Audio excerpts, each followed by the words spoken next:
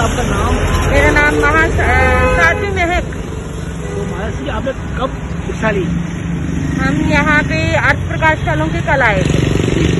और बड़े अच्छे तरीके से रहे बड़े आनंद में रहे और आज हम डकोली की तरफ़ जा रहे हैं। तो उसके बाद आगे आपका पढ़ाओ कहाँ पे है? उसके बाद हमारा आगे लगभग चार पाँच दिनों के लिए मुबारकपुर। तो महाराज जी आपने दीक्षा ग्रहण कब करी? मैंने दीक्षा ग्रहण करी नौ दिसंबर उन्नीस सौ तिरानवे में। तो बेसिकली आप कहाँ से बिलोंग करते हैं? मैं नालागढ़ से।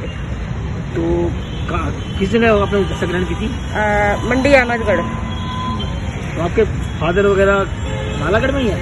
हाँ जी वो नालागढ़ में ही है। गवर्नमेंट जॉब से रिटायर्ड है हूँ जी। तो कितने बहन भाई?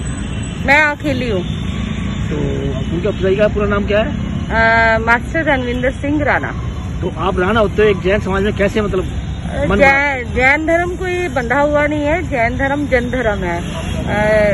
जो अगर समझ में आ जाए तो उसे कोई भी ग्रहण कर सकता है। तो किस महाराज से आप प्रभावित हुए?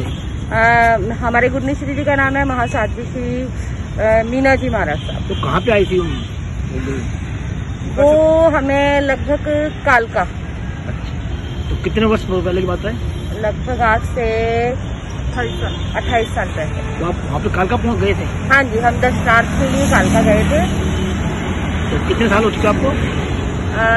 सत्ताईस। ताज़ा अपडेट्स व बड़ी खबरों के लिए सब्सक्राइब करें आज प्रकाश टीवी और बेल आइकन दबाना ना भूलें।